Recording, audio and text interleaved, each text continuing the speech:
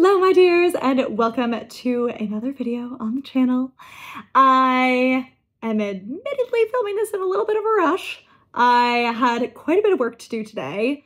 Also some things happening on the moving front, which I will update you on later, but that took up a bit of my workday today. And then I realized I really need to film the intro to this video before I go run my errands. So to give you a little context on what I will be sharing in today's vlog, we are going to the Henley Royal Regatta. If you are unfamiliar or not from the UK, that is basically probably the most, major rowing event in the calendar in the summer. And so it happens in a adorable town called Henley-on-Thames. And that is 45 minutes-ish outside of the city. If you ever come to the UK and you're not from here, please go to Henley-on-Thames. It is so cute. It's just this little nautical town on a lovely river. So lovely. So the rowing event is happening for a few days in a row. We are going tomorrow, a friend and I. I was actually not going to be here this week in the UK. And then some of my travel plans changed and then I was here. And then I looked at the calendar just like went on Tatler and searched up like what's the social calendar dates because they have everything very conveniently in one blog post. And I realized I was here on Henley Royal Regatta. So I quickly got a ticket and enlisted a friend to come with me. I will introduce you to her tomorrow. And so yes, I was just looking at the dress code online. The dress code is, is ladies are required to wear dresses or skirts with a hemline below the knee or jackets or blazers with trousers or trouser suits. Whilst not a requirement, it is customary for ladies to wear hats. So I'm a little bit last minute on this whole situation, but I do have a dress which fits perfectly from Sézane, which I love, and I'll show it to you in a second. And then I'm definitely going to wear wedges because there is a lot of grass at this event, and so I don't want to wear heels. And then the one thing, which is why I'm kind of in a rush right now, is there is a bag from Strathberry, which I've been thinking about for a while. It's been on my mind for like six months. And I think if you're still thinking about a bag six months later, then it's probably a sign that you really want the bag. So um, it closes on Kings Road at six. So we will see if I can make it there in time to go check it out. And I'll bring it with the dress and see if it like matches and everything. If it does, I might pick it up. So that is the dress code. Let me show you the dress. Okay, here is the dress. It is a shirt dress from Sézane. I am obviously partial to a dress which looks a little bit like a tablecloth. I am loving the design and the pattern on this one. It's intricate and delicate and beautiful. It has some lovely brown buttons and a tie at the waist, which is very flattering. I got this actually fairly recently. I got this just in spring actually, so they might still have it online. I'll link it if they do. And then the other thing I have is a pair of LK Bennett beige espadrilles I wear these for everything. They're very convenient. So that is the dress. That is the shoes. Still need to figure out the bag situation, potentially getting one on King's Road. When it comes to a hat, I honestly, I don't have a boater hat on hand and I don't have time to go get one either. So we're gonna go with the hat optional option.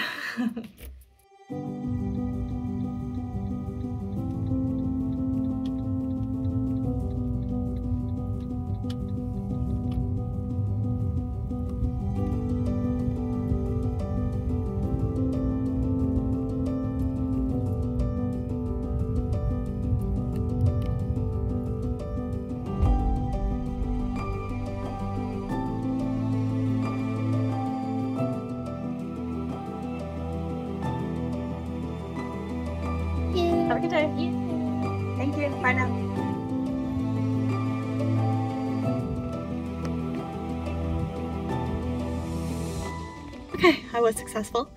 It looks like I haven't slept for five years. It's because I just had a lash tinting appointment at the uh, Blink Brow Bar in Peter Jones, right on Sloane Square. Oh my lord, woman was so kind. She was giving me a lovely shoulder massage, and I guess I like got a little too sleepy or something, like slightly opened my eyes.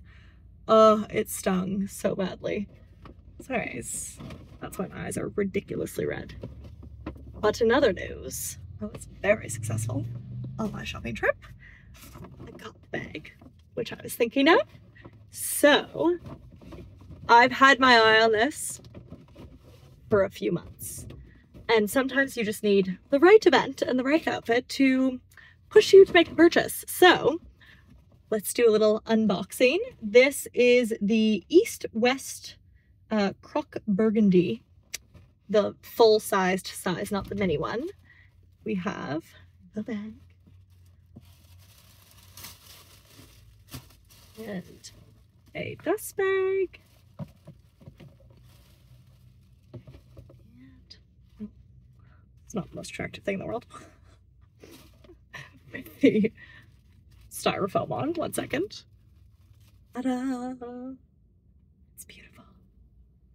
It's a great size. I feel like that's perfect for if you want to go for an evening, for a day, you need something a bit bigger than a clutch so that you can actually fit something. I have a Strathberry, I forgot the name of it, but some very like thin envelope style clutch and it's lovely, but you can only fit so much in it. Whereas this, you can actually fit in some items for a full day. Oh, by the way, if you don't know Strathberry, it is a Scottish brand. Well, if the Royals have worn this brand, it is lesser known than most handbag brands, which I kind of like that. I like things which are a little bit more under the radar and not so mainstream.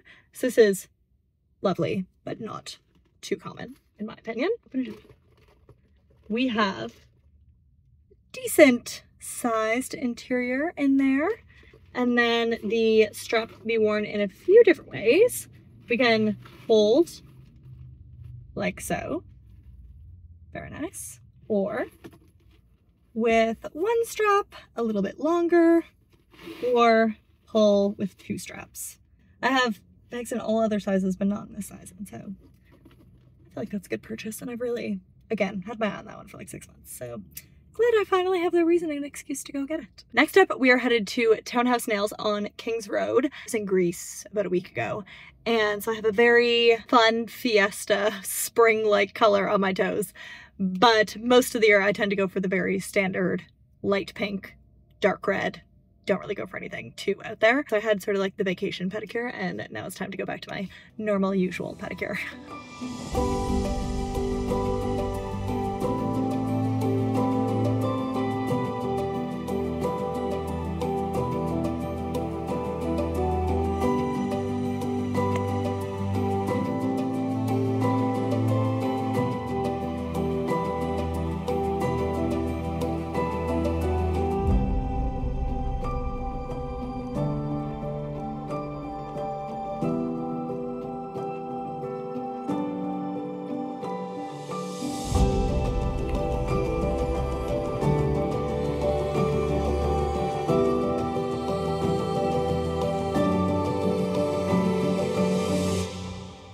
How fabulous are these prints? I'm especially loving the green wallpaper right there. So pretty.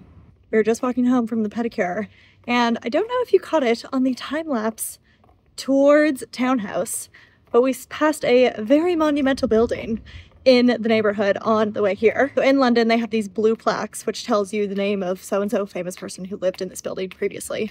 However, this house does not have the blue plaque, but it is extremely famous and was in a lot of paparazzi photos back in the day. I'll show it to you and take a moment and see if you know whose house it is before I tell you. So this is on Old Church Road. The Thames is just down there and Chelsea Old Church as well. And here, this one right here is Kate Middleton's old flat. Do tell me in the comments if you got it and you knew it was before I told you or if you didn't, and I caught you out on that one.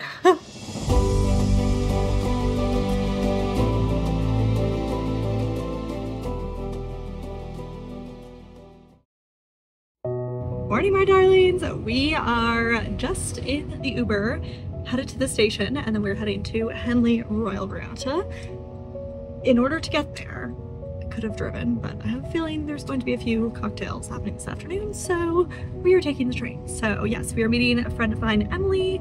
She is someone who I met at a Christmas business event like a year ago, and she's so lovely. I'm excited for you to meet her. We have made it to London Paddington Station. Don't turn, turn that often. I think I know what I'm doing.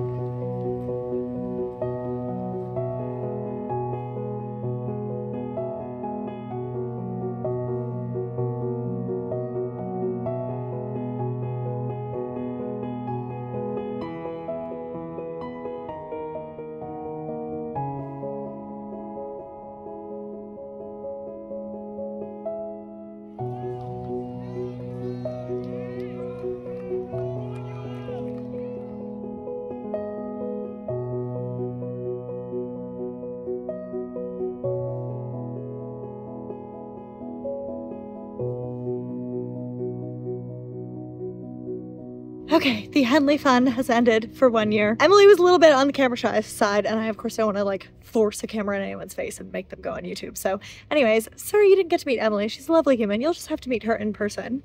But I didn't also have a chance to really show you my outfit. I will, when I go home, give you a proper look at the full ensemble. But let's get the train home.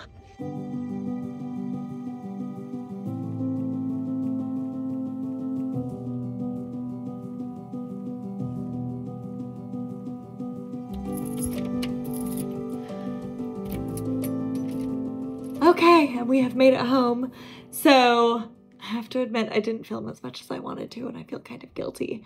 But it's okay. I'm only just starting with the whole like vlog your actual life and day thing, which is a bit of a change from the content which I have previously produced. So it's a little bit of a challenge. But I did get a few clips and I figured I would kind of share with you afterwards the whole situation. So, da -da. all right. I have on a dress from, I don't know if you call it Sézane or Cezanne, the French brand, which I am obsessed with. The bag is the one which I showed you the other day. It was perfect for the full day. The shoes are the LK Bennett wedges. And then uh, the gold bangle is from Monica Vinader and the pearl bracelet is actually, I just picked it up in Greece. It was just some random small store in Greece. I actually have no idea from where. This pendant necklace is from The White Company. So who knew The White Company actually did jewelry? I did not. And then these earrings are my favorite earrings. I wear them all of the time. You'll notice them in a lot of my videos.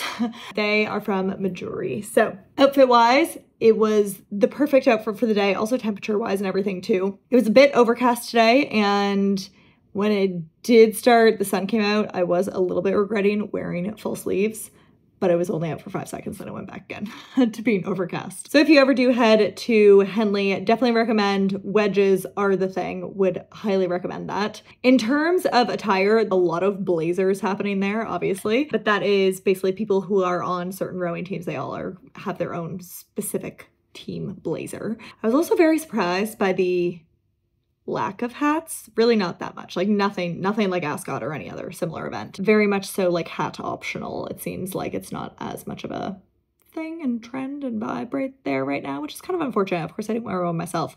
I love any excuse to wear a hat, but as I said, I just very last minute decided to go to this, which if you also want to go, you can always just you can get tickets online like even up to the day of you could probably still manage to get a ticket again if you want to head to the event as well they have lots of areas with seating and drinks and food so you don't need to bring anything but it can also be really fun to bring your own picnic if you're a little bit more pre-organized there is also if you go in the car park you could basically it's kind of like american style football tailgating they also are doing that um, in the car park, which is also fun. So that was lovely. It also very much so reminded me of my Ole Miss days in Mississippi because the tailgates happening in the car park were very bougie.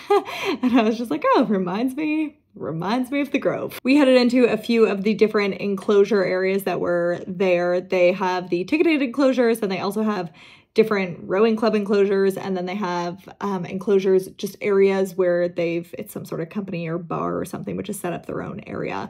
Lots of different vibes and lots of different music and things happening live music that sort of thing. Djs also it really goes into the evening and becomes quite the party. So while it is a full day event we i think we got there around one and that was great but by the time it was like eight i was was ready to go home. in terms of the actual rowing itself, I was also so surprised. I did not expect that, but there was a bunch of American universities there and I didn't really know what to expect by any means. But yeah, Harvard, Princeton, bunch of major US American universities were there. And I kind of just assumed it would be all UK universities. I didn't actually realize that it was international really, so that was kind of fun. So if you want to go to Henley as well, it happens every year in June. So definitely take a peek online to figure out the dates for the coming years if you ever want to stop by. And of course, if you're looking for something else to do while you are hanging out in the UK at any point in the future, then do watch this video next and you come with me for a lovely weekend to the Cotswolds where I did the most me thing. I went to a tablecloth printing workshop and it was fabulous. So do come watch the next video for more on the Cotswolds and Soho Farmhouse too.